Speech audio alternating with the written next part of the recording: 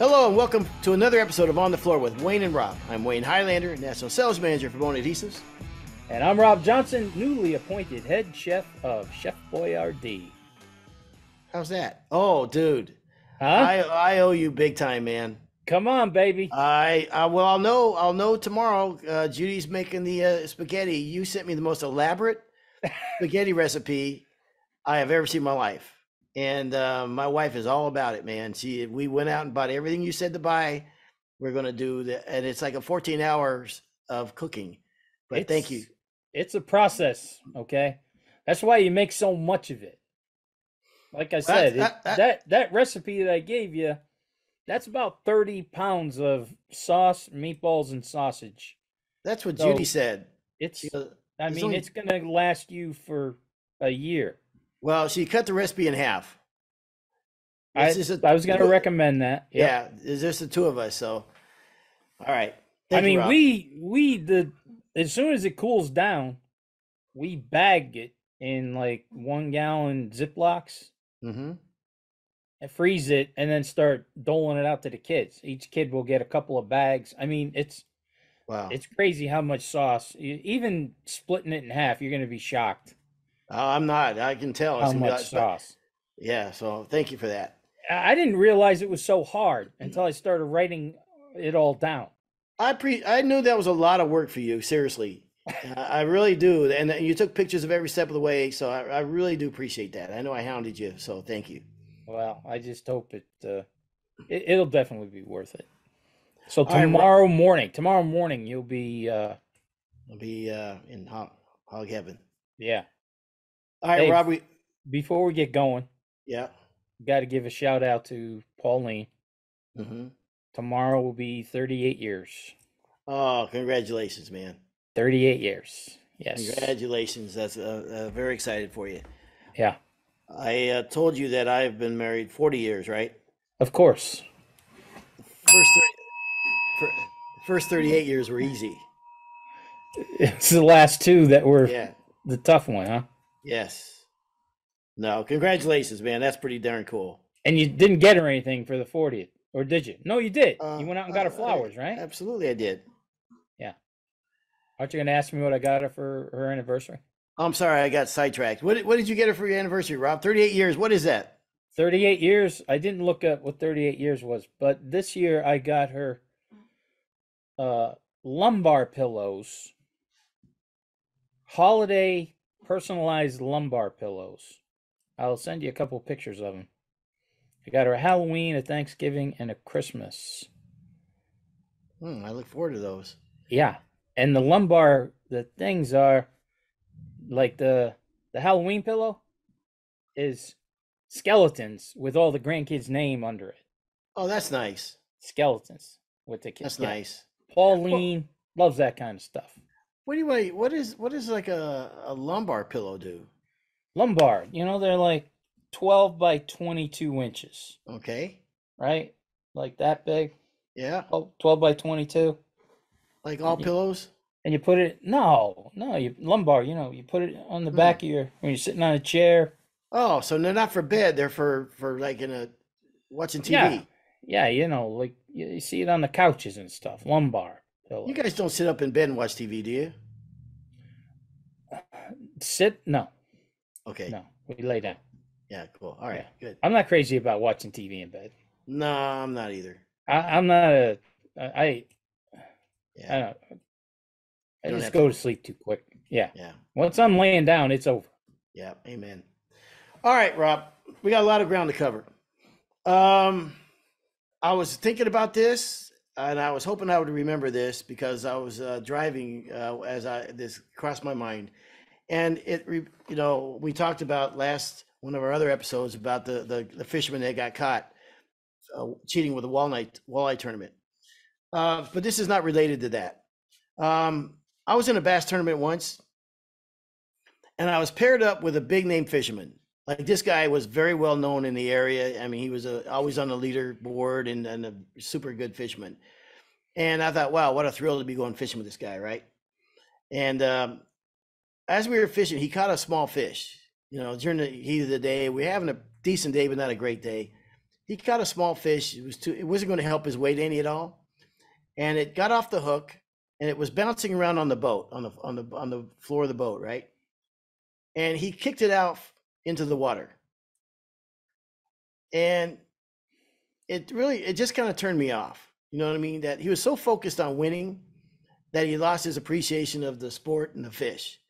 And it just kind of I just just rubbed me the wrong way. And I thought to myself, like, I don't want to ever lose the appreciation of the art of sanding fishing hardwood floors and how much the craft of that has always meant to me my whole life and how much I enjoyed it.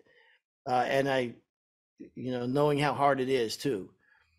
And actually, you know, I've had people say debate whether okay, do you Wayne, do you think hardwood floors is it an art or is it is it not an art?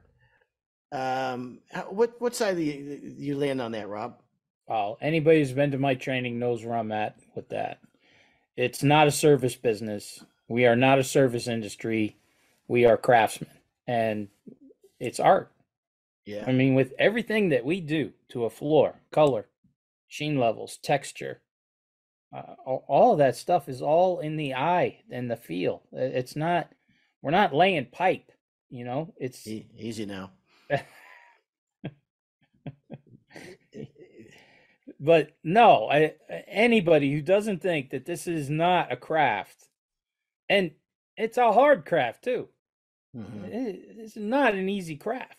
I mean, I mean, we've done it. We, we know the deal. We Mhm. know what everybody's going through out there.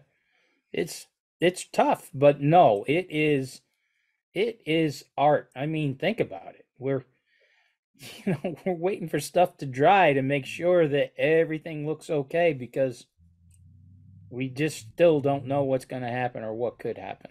hmm You know, I um, you know, we all see these fancy floors on social media and what have you, and I love them, and we, you know, we all all love that, you know, with the, the cool stuff that's out there.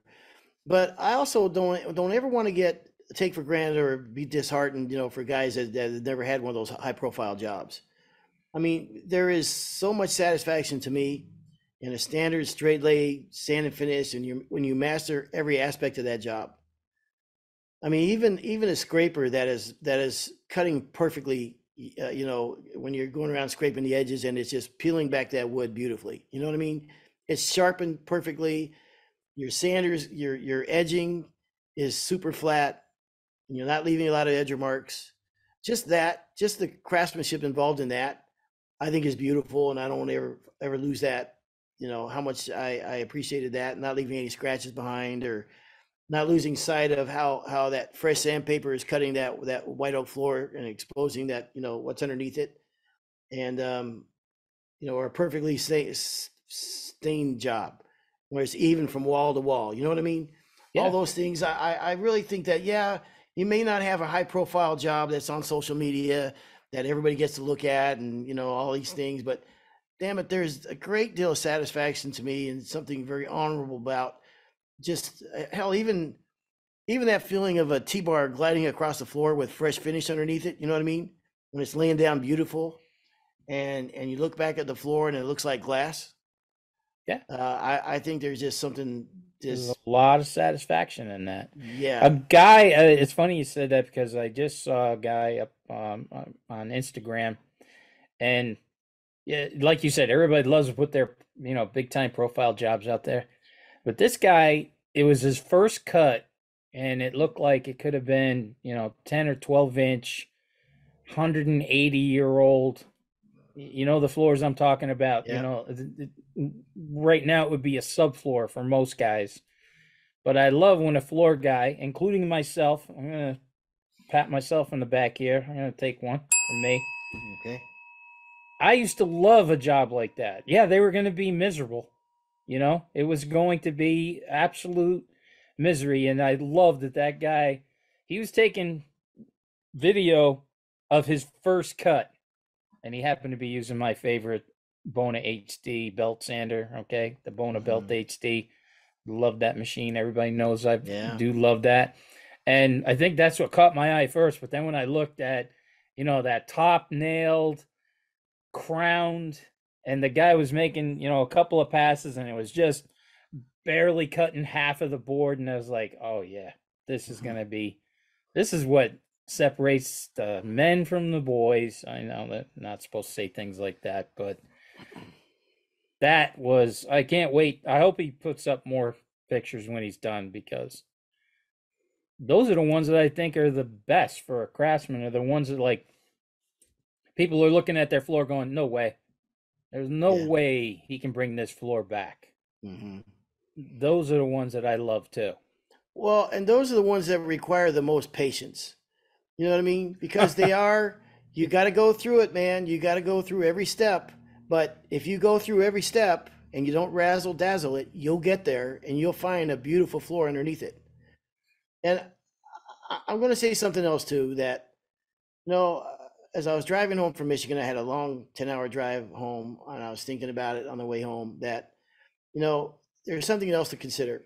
And I'm going to mention some words that will dis- describe existing floors that we sometimes run into, right? You, you, we run into floors that have many flaws in them, uh, in disrepair, and they've been abused over the years. And they have signs of wear and tear and maybe neglect, or they've been uncared for.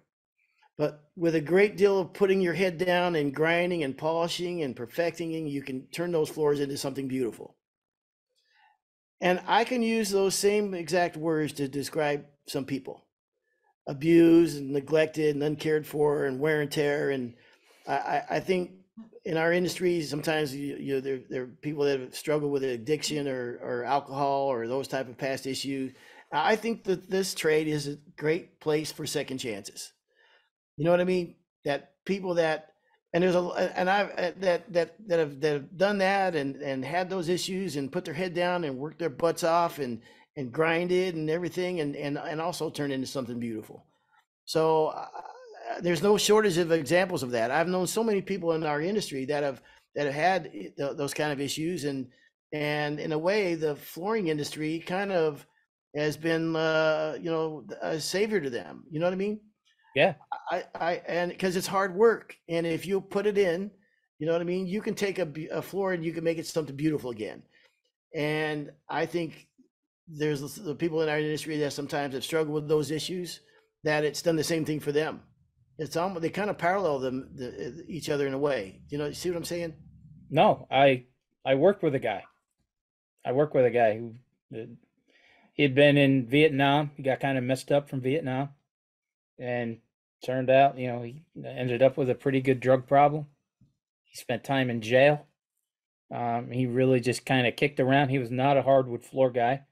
Um, he had just kind of answered an ad that my dad had thrown out, you know, looking for the seasonal help. And um, the funny part was is how hard we work at this, but it turned his life around. Mm-hmm. I mean, it just gave him everything that he was looking for. And I remember one day he goes, "You know, the beauty the the most beautiful part of this, it's the struggle, Mm-hmm. the struggle, you know." And for to come from, you know, you hear from other people, but I had known what he had been through, you know, because him and I were kind of roommates through the years when we we were traveling and stuff, and uh, you know the stories and uh, of what he went through, and then where he ended up. He ended up being a, a you know when when I left my dad's company, he stayed. He turned into the foreman. I, I mean, it really turned his life around, and he loved it. But that was part of what he loved about what we do was the struggle. Well, you know, sometimes when you when it, for what I like about hardwood floors, it's like, in the end of the day, it's it's me against that floor, and when I don't have to talk to anybody, and you just put your head down, and you don't, and, and a lot of people that that that's how they're they're wired. They they don't want to do a lot of talking, they don't want to have to interact with a lot of people. Just give me that floor, and let me put my talents to it, and let me let me let me do what I can with this with this, you know, this piece of flooring and see what I can do with it. And I, I think it appeals to a lot of people that that have maybe been in that situation.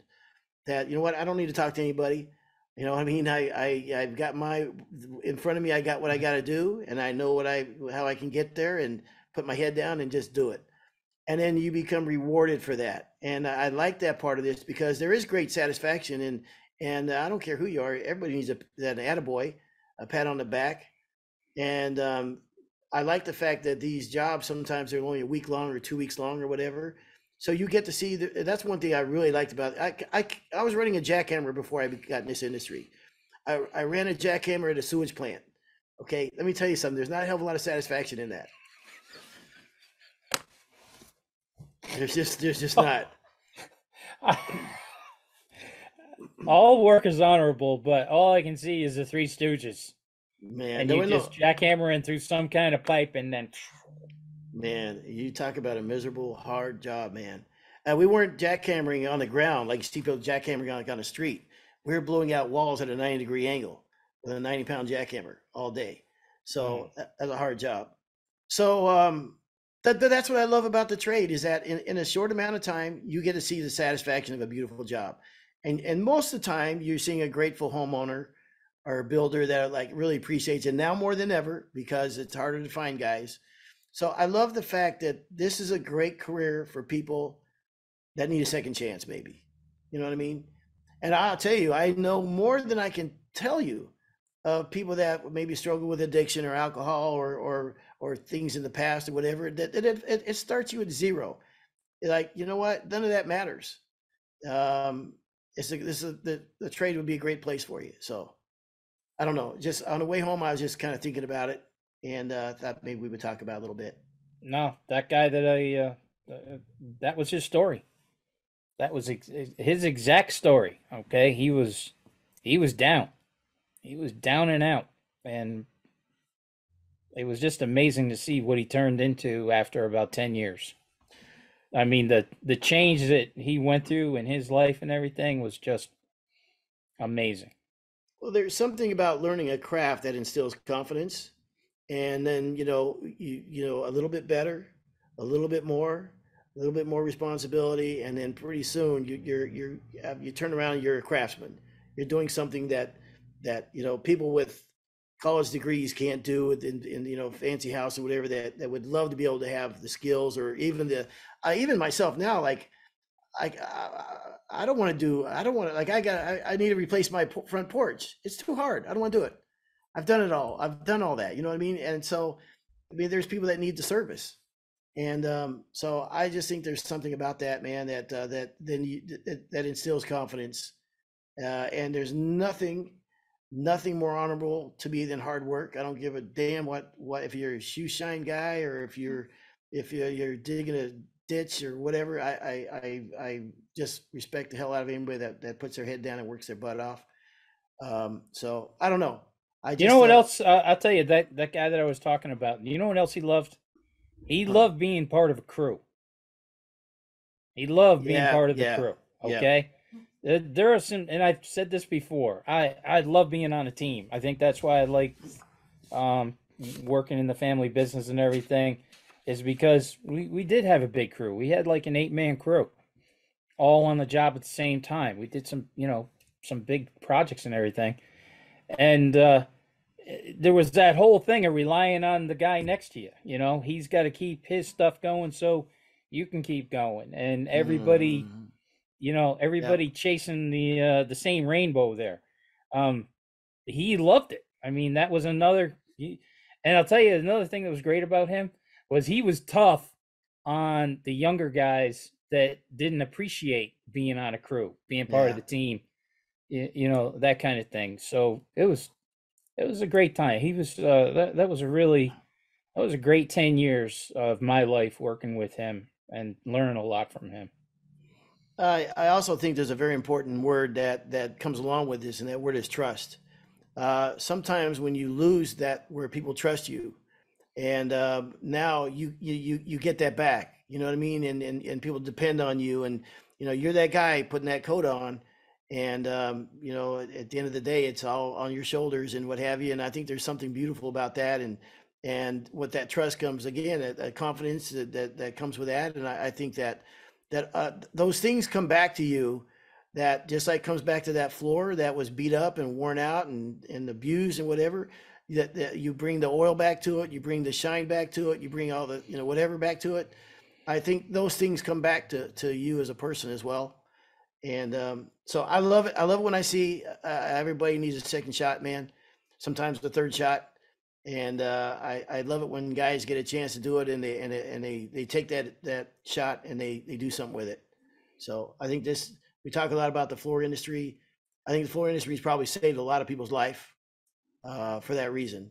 Uh, good hard work. Sometimes some people need it, need need that.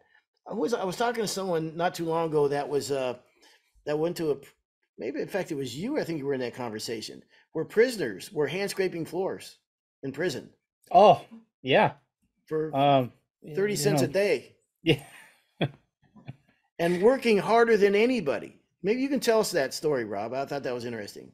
Well, um, the guy's name was Mike Sundell, and he had left the, the previous company you and I had worked for, and somehow he got um, I, I don't know how he got it. I don't know how he figured out how to do this, but he had two prisons down in South Carolina, two maximum security prisons that were they had set up hand scraping floor stations. And he said one, you know, one joke. He said, "Yeah, I'm not going to mention the name of the company." He said, "But when you see this such and such company and says Amish hand scrape floors," he said it was scraped by my boys In Okay. prison. Prison. So I was like, you know, I can't believe that you're you're doing this in a prison. This is insane. You know, I said. uh, He goes. Uh, he goes. You know, usually they just made one mistake. You know, somebody murder somebody. It's, you know, they just made a mistake. He said. So I said, you're giving these guys seven pound sharp scrapers. I said they're they're convicted felons, and he said, listen, what you don't understand is most of these guys have a family. Most of these guys know that they screwed up. They're just looking for another chance. He said people are standing in line to get involved with this hand scraping thing that they were doing at the prisons.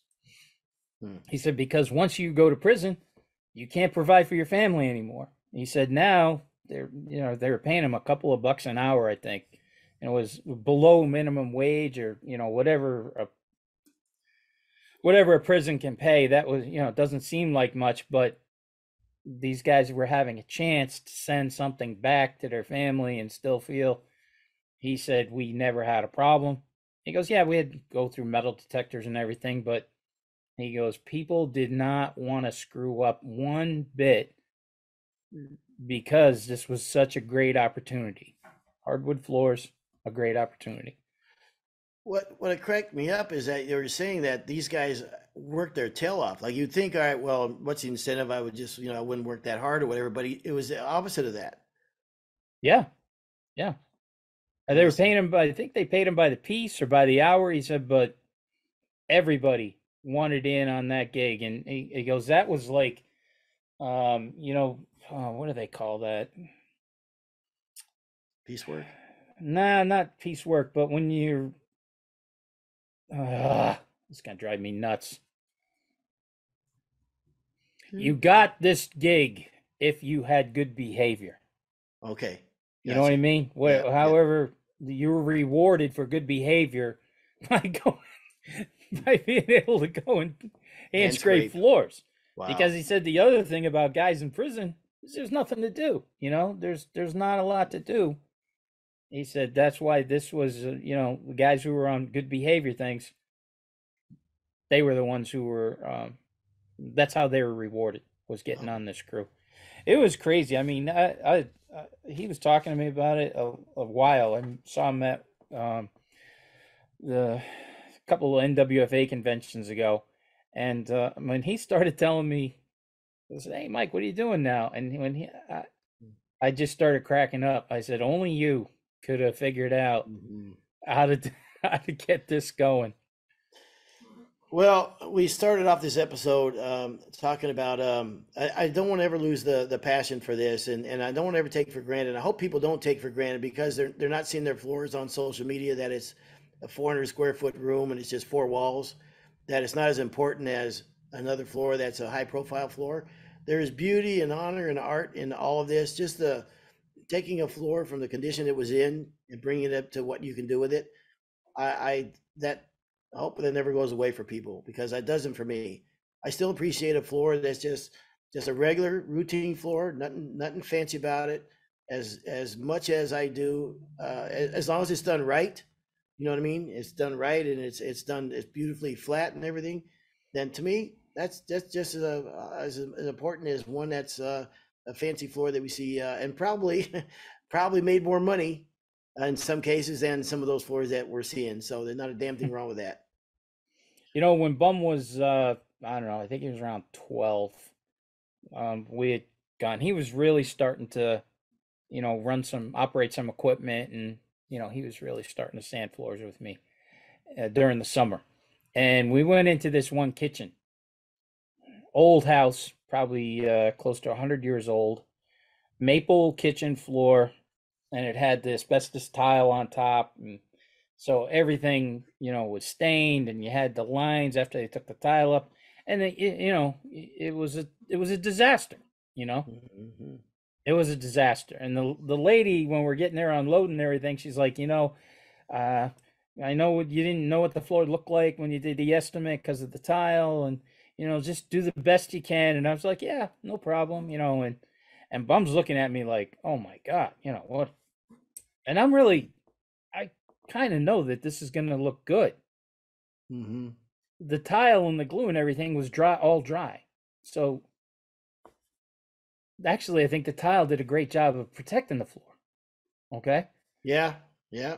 So we sanded it, and he's getting all jumpy, like, wow, wow. And I'm like, yeah, this, yeah, whatever.